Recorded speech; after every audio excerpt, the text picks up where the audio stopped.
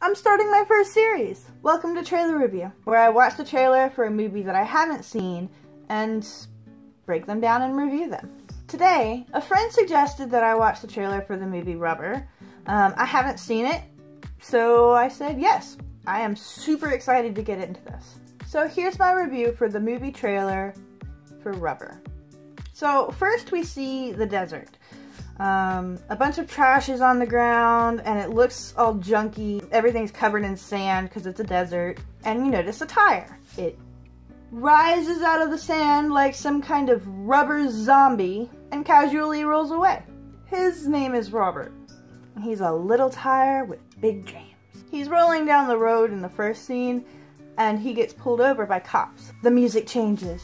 He slowly turns to face the cops and then he starts to vibrate. He vibrates, and then one of the cops' heads blows up.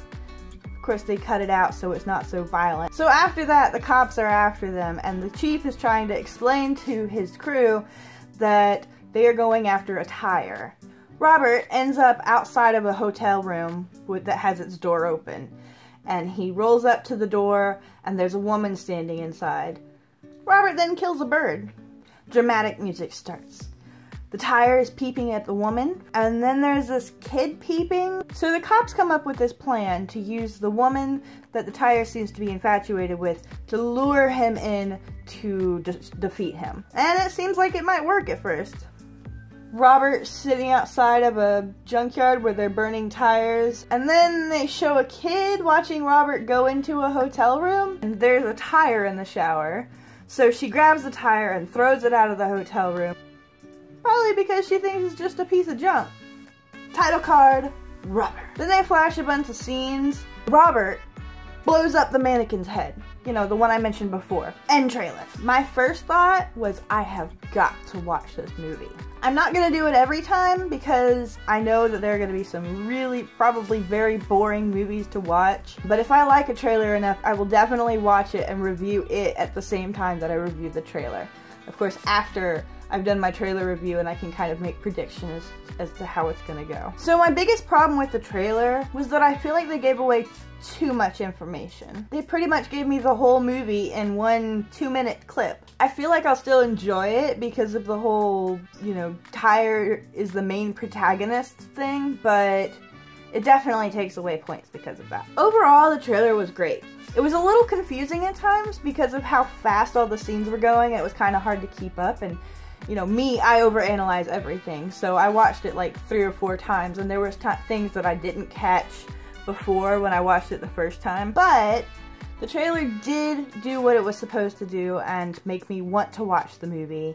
So that's what I'm to do. First, some key points, what I think is to happen in the movie. Before I go watch the movie, I'd like to do some pre-movie points where I list off a couple of things that I think is to happen in the movie. And then when once I watch the movie, I will decide how much I got right. I have two points for this movie, actually. My first prediction is that the cops are just really dumb and it's not going to catch the tire.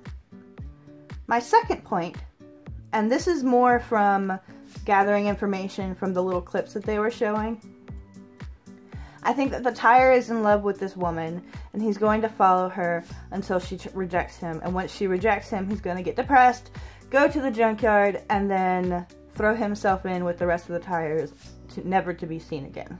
Which is a depressing thought, and I really hope that it doesn't end that way, but we'll have to see. Overall, I give the trailer a 6 out of 10. Now I'm gonna go watch the movie. Uh, I was wrong. So it's like the next day, and I just watched the movie for the third time, I am super happy with it. Uh, I definitely misjudged the trailer. Um, I thought that it had given a lot away, and it had not. Um, the whole premise of the movie was was that there was this audience watching all of this transpire, and the audience was inside the movie with the characters of the movie and could even interact with the characters if they so choose. I don't want to spoil the movie, but it was uh, really, really good. Goofy slash pointless slash funny. It's funny and there's no point, no reason to the whole movie. It's just a movie about a tire for no reason. And it was really good. I watched it on the Tubi app, um, T-U-B-I uh, app.